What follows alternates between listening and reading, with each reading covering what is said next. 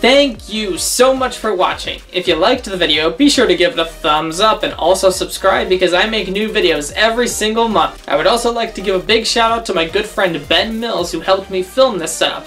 He's a great guy and he makes some good YouTube videos too. Hilarious stuff. I'll put a link to his channel down in the description. Fun fact, this is the biggest setup I have ever built on my own, excluding professional inquiries. Also, if you haven't seen the new H5 Domino Community channel, I would recommend checking it out. I actually made a video for it, all about the hidden work behind making mind-blowing domino tricks. It's actually quite a fascinating video, and you should really check it out. Again, link to that is in the description. I really enjoyed making this video, and I hope you enjoyed watching it.